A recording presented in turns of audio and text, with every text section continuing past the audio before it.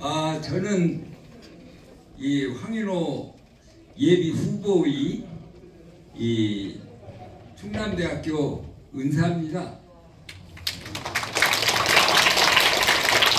제가 74년도 충남대학교에 에 왔습니다. 흔히 이렇게 얘기를 해요. 제 고향이 이제 전라남도입니다.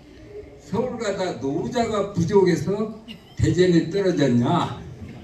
그런데 저는 서울에서 전라도로 내려가다가 노자가 부족해서 대전에 떨어졌습니다. 그래서 충남대학교에 1974년에 부임해가지고 2004년 8월에 어, 정년 퇴임했습니다. 여러분 이 자리에 왜 오셨습니까? 황인호를 내년 4월 10일 어디로 보내야겠습니까? 여의도로 보내야겠죠? 저도 마찬가지 심정으로 왔습니다. 이 제가 제, 제자기 때문에 존칭을 하지는 않겠습니다. 황인호는 나와 더불어 민주화를 하는데 일을 담당했습니다.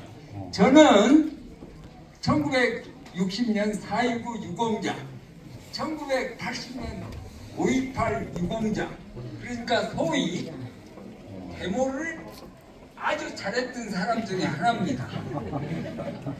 그래서 80년에 여기 와 있는데 우리 선병열 전 의원과 개헌 때 대담을 한 것이 특집이 돼가지고 제가 한번 당국에 불려갔어요. 그래서 혼난 적도 있습니다.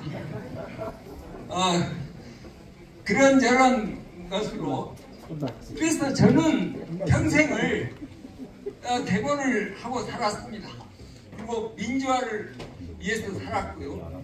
그런데 작은 거인 황현호는 조용조용 올바른 길을 쭉 걸어왔고 또 언제는 부의원으로 시의원으로 부청장으로 이 다음은 국회의원으로 나가보겠다라는 굳은 의지를 가지고 이 자리에서 여러분들에게 출사표를 던지는 것이 천지개벽입니다. 맞습니다. 동굴은 여러분이 보시기에도 좀 낙후되었다고 생각하는